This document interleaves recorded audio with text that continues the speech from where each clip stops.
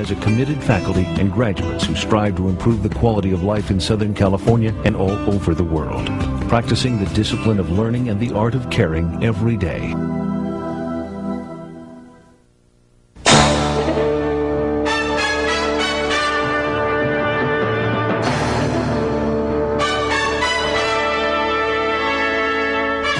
The American Health Journal, bringing you the latest information on medicine, psychology, diagnosis, treatment, and prevention.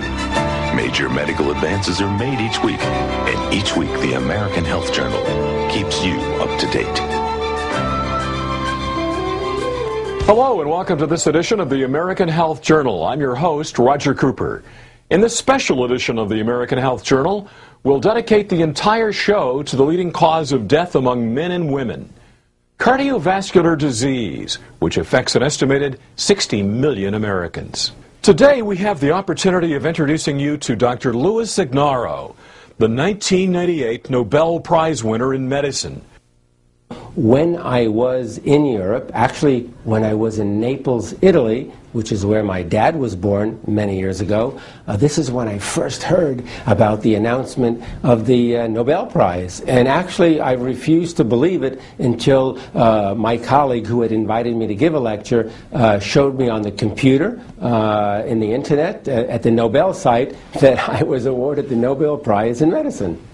The Nobel Prize ceremony is unbelievable. It's celebrated in December. It's always celebrated on December 10th, which is the anniversary of Alfred Nobel's death. So it's a whole about eight or nine days of ceremony. So we give lectures, I think, on the 8th of December. We meet all kinds of interesting people, and of course, we get a chance to converse with the other Nobel laureates. And then the ceremony is spectacular. It's, it's held at the concert hall. Uh, of course, it's attended and hosted by the, the king and, and the uh, queen of uh, Sweden. It's just a, a fantastic event, but one of the greatest feelings I ever had was getting up and walking to King Carl Gustav and uh, receiving the Nobel Prize from his hands. That was a very moving moment for me, as was a couple of days later uh, in the final, the terminating ceremony, where I was actually asked to sign my name to a very special book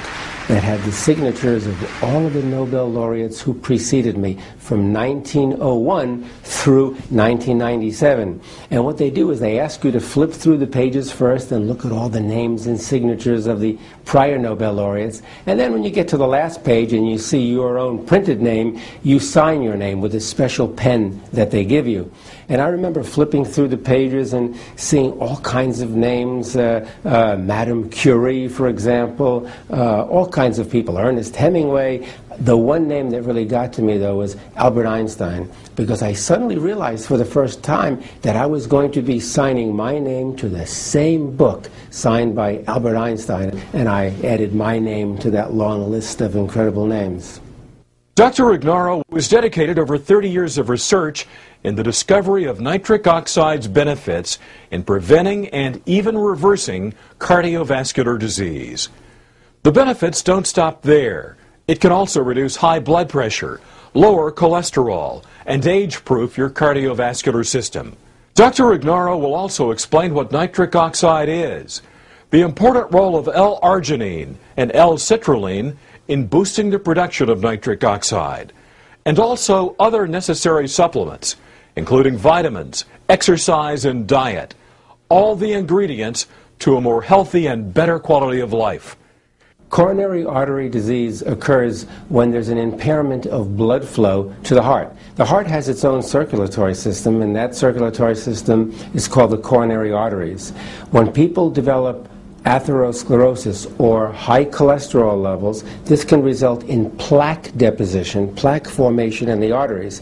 And as those plaques grow and grow, they can obstruct the flow of blood. This can lead to a decrease in the flow of blood and therefore the flow of nutrients and oxygen to the heart to the point where when you need your heart during exercise or walking up the stairs or changing a flat tire or almost anything else if the heart does not get enough blood or oxygen it's going to feel pain due to ischemic damage. That is essentially a heart attack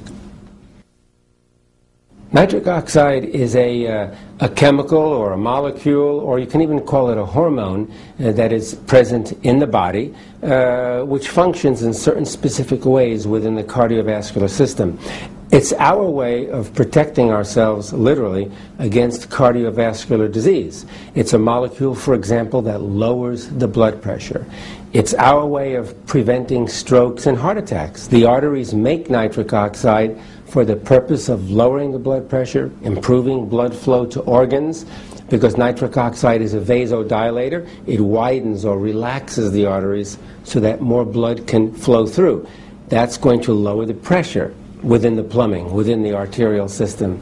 And again, it protects against uh, coronary artery disease because it can lower the bad cholesterol levels uh, and so on. So it's the body's natural way to protect against heart disease provided we make enough of it.